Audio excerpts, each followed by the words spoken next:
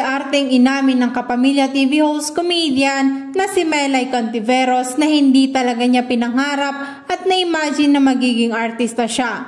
Ayon sa komedyana, ang kanyang ultimate dream noon ay makapag-abroad at kumita ng malaki para mabigyan ng magandang buhay ang kanyang pamilya. Mahigit isang dekada na si Melay sa mundo ng showbiz matapos siyang tanghaling big winner sa Pinoy Big Brother Double Up. At malayo-layo na rin ang narating niya sa bilang celebrity. Bukod sa umaariba pa rin niyang karir sa ABS-CBN ay nabiyaan na rin sila ng dalawang anak ng kanyang asawa na kapwa PBB alumni na si Jason Francisco, sina Amelia Lucille at Estela Rosalind. In fairness, maganda rin ang resulta sa takilya na bago niyang comedy film.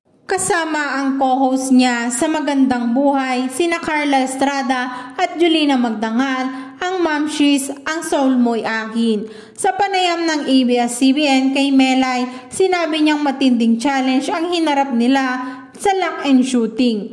Mahirap pero talagang warrior naman tayong mga Pinoy so talagang nilalabanan natin at mas kumaan at sumaya kasi kasama natin ang mga kaibigan. Sa sinasabing pelikula, pumayag si Melay na magkaroon sila ng bedroom scene ng asawang si Jason na ikinagulat ng ilan niyang taga-suporta.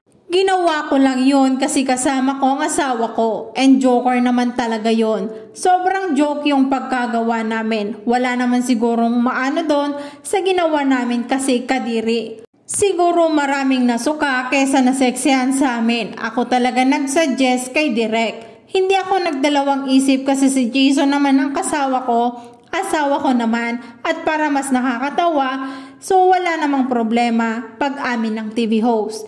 Ibinahagi rin niya ang nasabing panayam na nakaka-relate siya sa karakter niya sa movie.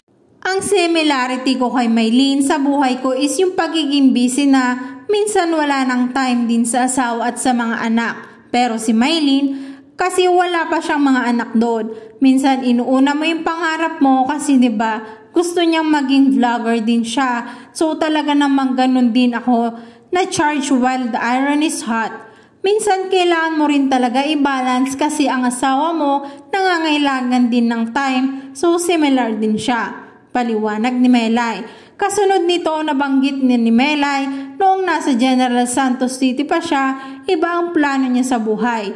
Yung unang-una kong plano, hindi pa ako nag-artista. Kasi yung plano ko, hindi naman talaga mag-aartista. So parang gusto mo makita na ang abroad, somehow yun din ang pangarap ko, sinang komedyana. Sinabi rin ni Melay sa kabila ng maraming kanegahan nangyari dahil sa health crisis, marami ring nagpositibong naidulot sa kanya ni Jason ng pandemya.